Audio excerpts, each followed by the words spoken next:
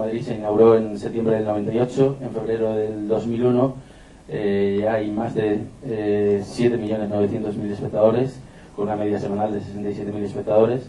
Lo que estamos viendo es que en, todos los lugares donde hay un Kinépolis aumenta la frecuencia de visita al cine. Entonces estamos viendo que también en Madrid está aumentando la frecuencia de visita al cine y también es porque acercas más el cine al, al consumidor y realmente aprecia el, el cine a lo en cuanto a objetivos de marketing, el objetivo de marketing es incrementar el nivel de ocupación y ese es el objetivo principal, tanto del fin de semana como de entre semana, que es el gran caballo de batalla. Eh, ¿Cómo incrementar el nivel de ocupación? Pues hacemos acciones eh, aprovechando esas sinergias que digo con, con, distribuidores, con merchandising de cine. Cualquier cosa que podamos aprovechar con el cine, el merchandising es un gran arma para, para las distribuidoras, un gran para nosotros y para potenciar una película.